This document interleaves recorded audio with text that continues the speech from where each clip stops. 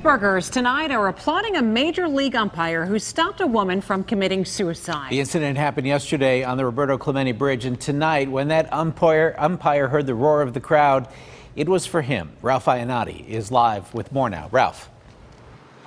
Yeah, thanks very much, Ken. It wasn't a home run, it wasn't a triple, or it wasn't an unbelievable catch in the outfield that brought, uh, got the crowd uh, cheering tonight. Uh, rather, it was a man who stepped up to the plate, and no, at the time, he was not even in PNC Park.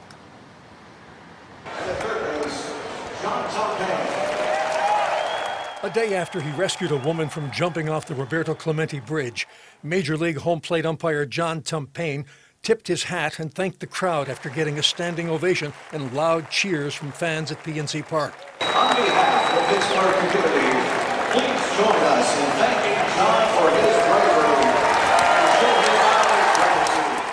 The 34 year old Tumpane says he was in the right place at the right time. He still can't fully put into words why he approached the unidentified woman when she hopped over the railing Wednesday evening, but he knew something wasn't right by the look on her face and the tone of her voice.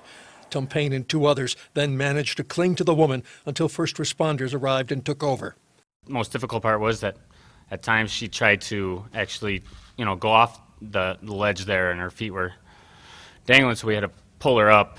Fans and others were quick to recognize Tumpane's split second heroic actions. John's a hero, and, and that's the long and short of it. Plain and simple, the man is a hero. I'm sure he was just thinking, man, I got to get to this lady before she makes the worst decision of her life, and thank God he was able to save her. To have the courage to stand there and try to some, talk somebody down who's depressed and upset, yeah, it takes a lot of courage to do that. I think acts like that aren't really seen and recognized enough. I think it's just an awesome thing that he was able to do, that he was in a, in a spot to do it. Speaks volumes about the man. Um, it's a guy, guy you can count on.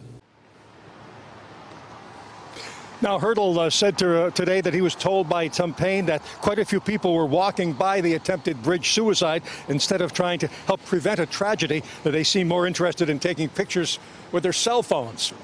We're live tonight downtown. I'm Ralph Iannotti, KDKA TV News.